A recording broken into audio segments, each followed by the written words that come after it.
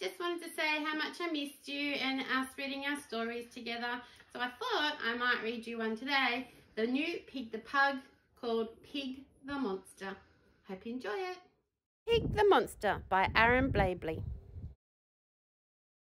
Gee, I wonder what's going to happen with Pig the Pug this time. Let's read ahead and see.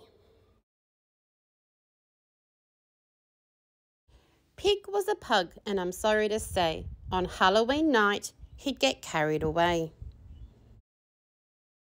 Hungrily drooling, he'd lurch through the streets, a monstrous rampage for treats, treats, treats, treats! Treats, he would bellow. It's Frankenstein's pup. He'd grab a whole basket and snaffle it up. Treats, he would drool, a zombified bumpkin, and if you resisted, he'd upturn your pumpkin.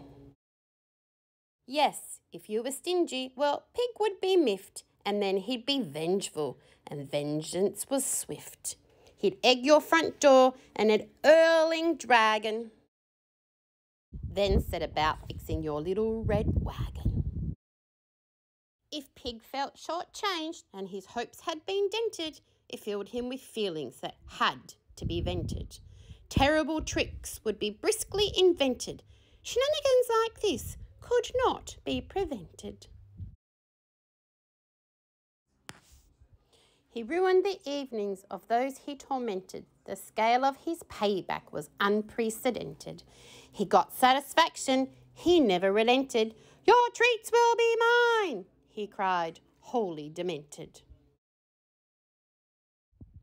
Wild in his triumph, the mummy unhinged. He laid out his plunder and frantically binged. Tearing through candy, a glutinous goblin. He just didn't think about what he was goblin. Dogs can't eat chocolate, cried someone quite clever. Dogs choke on chocolate. He's no fool, that Trevor. Pig spluttered foully. Oh, Weena, don't nag then breathed in that chocolate and started to gag. Quick thinking Trevor, that wonderful hound, he snatched up Pig's ankles and swung him around. With a whoosh and a whirl, he windmilled that lug, a fast spinning dachshund, a chocolate filled pug. And soon enough, all that sugary gloop was loosened up nicely, a warm chocolate soup. Watch out, cried Trev, but the crowd was dumbstruck as gallons of Halloween goo came unstuck. These days it's different, I'm happy to say. Pig's Halloween harvest, a modest buffet. He respects people's homes and he shares out his booty. His generous spirit, a thing of real beauty.